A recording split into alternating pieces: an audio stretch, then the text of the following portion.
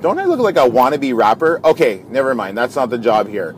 It's Dave here, wondering how you're doing. I'm on the way home on a Friday afternoon, and I have a few questions for you. Have you decided to come to the May 18th LHS 35th anniversary for the class of 78 bash? You may have not graduated in 1978, but it doesn't matter. We want you to come. We are expecting an incredible crowd. We have all sorts of crazy things going on. It's going to be spectacular, but we need you to come.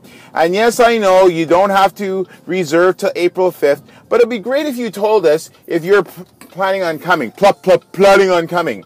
So we want to see you come.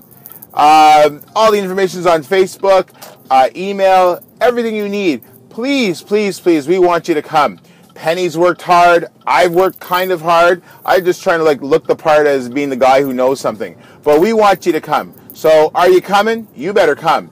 May 18th, 2013. We want to hear from you. You don't have to send your money right away, but it'd be great if you were able to tell us if you're planning on coming. It's going to be the party of the year. Show up.